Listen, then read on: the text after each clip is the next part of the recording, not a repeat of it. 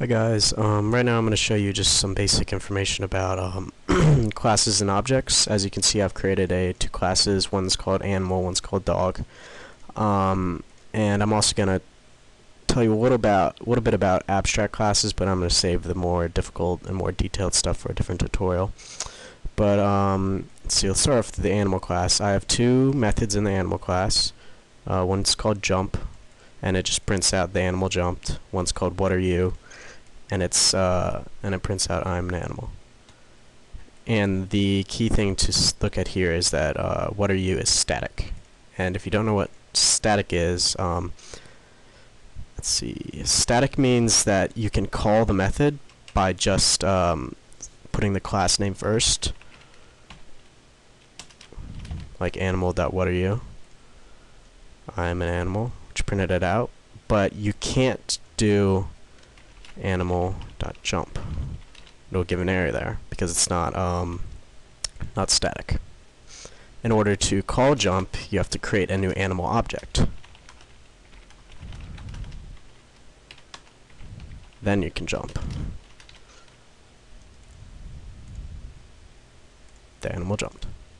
And this is because um, static methods are uh, unique for the entire class and for every single object of that class, while um, non-static methods are unique only for the object that is created from the class.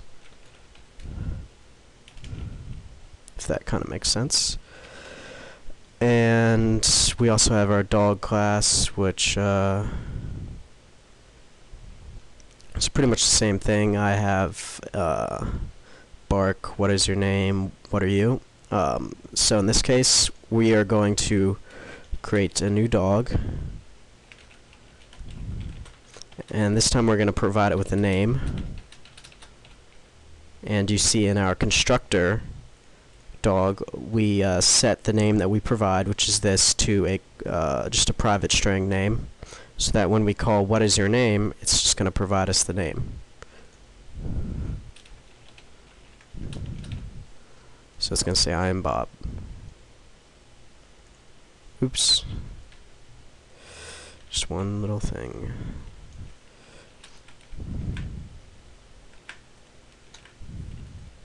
Had that, didn't have that at the end. Alright, I'm Bob. And this is a good uh, a good example of why we need non-static methods because uh, for every dog we create is unique because it's going to have a different name so this method is going to be unique but um, the what are you is does not need to be unique because every single dog that we create from the dog class is going to be a dog so what are you is always going to return I am a dog for every single one regardless of name and then bark just, just just does the dog barked, which can be used either way. I mean, it doesn't really matter. I could actually make it static, and it wouldn't really make a difference. And um, okay, so that's just basic things. And remember that if we have a private method, I'm just gonna make it blank for now. Uh, you just have to remember that you can't call that private method because it's private is inaccessible due to its protection level. So uh, the methods have to be public that you call from the client, and it's in this case, which is program.cs. Um, see, trying to remember other things. I should tell you guys. Uh, so private methods are basically used in other methods. They're kind of like helper methods. And alright, a little bit about abstract classes and inheriting classes. Um, you see this uh, notation right here that means uh, dog inherits animal, which uh, means that dog has access to all the methods in animal, as well as all the methods in dog. Um, which means that I can call uh, jump.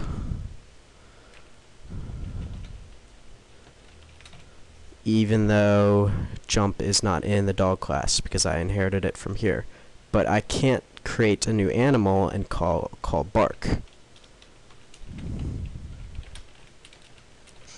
because that is exclusive to the dog class, which the animal class does not inherit. See this little notation.